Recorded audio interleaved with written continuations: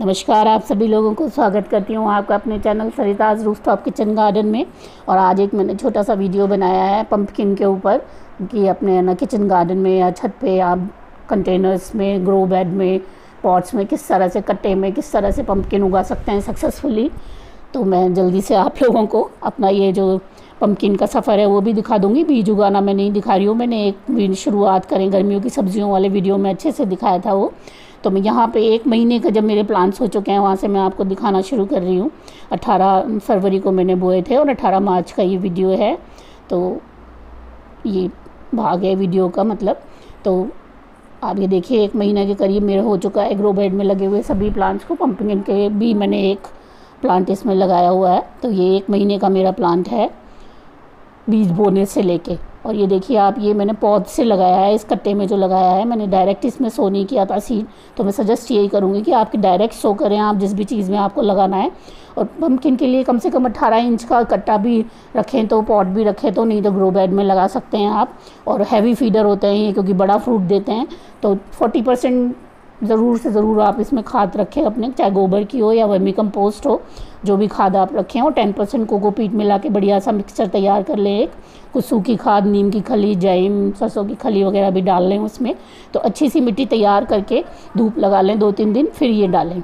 तो एक महीने का ये मेरा प्लांट है। अभी देखिए अच्छी ग्रोथ है इसकी। इसके बाद अगर मैं ये आपको आऊँ तो ये लगभग मेरे जो प्लांट्स प्लांट को है वो 55 डेज़ हो चुके हैं लगाए हुए इनको और काफ़ी अच्छी ग्रोथ थी क्योंकि इनकी मैंने मिट्टी बहुत अच्छे से तैयार की थी, मैंने आपको वो वीडियो दिखाया, बना के भी दिखाया था। तो देखिए आप 55 डेज़ का मेरा जो ये कद्दू का प्लांट हुआ है और इसमें काफ़ी अच्छी फ्लावरिंग हो रही है। मेल फीमेल दोनों ही तरह के फ्लावर्स आ रहे हैं और ना मेल फ्लावर्स की अधिकता अगर आए, आप चाहते हैं आपकी सब्जियों में उसमें तो पोटैश वाली जो खाद है, केले की छिलकों की जो बनाते हैं, हम बनाना, पील बनाते हैं या फिर ना जो आपका क्या कहते हैं इफ़को का जो पोटैश आता है, ऑर्गेनिक, वो भी आप यूज़ कर सकते हैं, सरसों की खली यूज़ कर सकते हैं। और इसको देखिए आप, मैं आज ये जल्दी से आप लोगों को पंपकिन किस तरह से हैंड पॉलिनेट करते हैं, ये भी दिखा देती हूँ। बीज की काफ़ी अधिकता होती है मेरे प्लांट्स में, पर फिर भी है ना, मेरे को एक सेफ़ साइड ये लगता है कि हैंड पॉलिनेशन कर दो बड़े फ्रूट्स का, जिससे वो बेकार ना जाएँ। तो मेल और फीमेल फ्लावर मैंने आपको पहले भी बताया हुआ है, हर फ्रूट वेजिटेबल के फ्लावर में होते हैं। तो ये देखिए, ये मेल फ्लावर है, जिसके पीछे कोई फ्रूट नहीं लगा हुआ। ये डायरेक्ट ऐसे ही फ्लावर होता है और इसके अंदर से हम लोग ये पोलन ब्रश की सहायता से कलेक्ट करेंगे। बहुत सारा पोलन होता है। कद्दू के फ्लावर में तो कोई टेंशन की बात नहीं होती और इस तरह से ये फीमेल फ्लावर है, जिसके पीछे छोटा सा फ्रूट बना हुआ दिखेगा आपको। उसमें हम इसका पोलन ट्रांसफ़र कर देंगे। इस तरह से बहुत बड़ा फ्लावर होता है कद्दू का, इसलिए हैंड पॉलिनेशन बहुत आसान होता है इसमें। आराम से आप लोग कर सकते हैं। तो मैं आपको कह रही थी कि अगर मिट्टी अच्छी तैयार करते हैं तो जल्दी ही आप लोगों को रिज़ल्ट अच्छे मिलने लग जाते हैं। जैसे कि मैंने आपको बताया, पचपन दिन के मेरे ये प्लांट्स हो चुके हैं और उनमें मैं आज पहली बार हैंड पॉलिनेशन कर रही हूँ। तो ये आप लोग भी लगा सकते हैं। अच्छी तरह और लगातार मैं आपको बताती हूँ, चाहे कितने ही वीडियोज़ आएँ, पर महीने में तीन बार, जैसे दस दस दिन के अंतर पर एवरेज आप मान के चलें, कोई भी खाद आप लोग दे दें क्योंकि हम लोग अगर लगातार भी बता रहे हैं, आप कई बार पूछते हैं कि आपने ये भी दिया था, वो भी दिया था, पिछली बार तो मैं कुछ ना कुछ कट भी कर देती हूँ, अगर आपको ज़्यादा लग रहा है तो। सोच के अपने समझ से कि हाँ ये डल गया है तो। तो आप अपना जो एवरेज रखें, वो टेन डेज़ में एक बार खाद देने का ज़रूर रखें। मैंने आपको बताया, हैवी फीडर होते हैं, पम्पकिन्स जो है तो दस दिन में आप थोड़ा बहुत खाद तो दे दीजिए। तो ये देखिए और कुछ ये फ़ीमेल फ्लावर जैसे मैं आपको दिखा रही हूँ तो ये वाला चीज़ जो होती है, ये फ़ीमेल फ्लावर होती है, जिसमें छोटा सा फ्रूट लगा होता है एक दिन और। काफ़ी सारे फीमेल फ्लावर आए हुए हैं मेल फ्लावर आए हुए हैं आजकल मेरे कद्दू के प्लांट में, अच्छी बढ़ रही है ये बेल बहुत। तो ये आपकी पहचान के लिए मैंने एक बार और दिखा दिया है इसको। और ये 65 डेज़ के करीब मेरे है ना प्लांट खो गए हैं अभी इस टाइम आप ये देखो, अब अब मैं आपको प्रगति दिखाती हूँ। हम लोगों ने पॉलिनेट किया था कद्दू उसकी। ये देखिए आप। है ना? लगभग दस दिन के करीब मेरे को इसको पॉलिनेट किए हुए हो गए हैं और ये एक किलो से ज़्यादा का कद्दू तैयार हो चुका है इसमें अभी तक।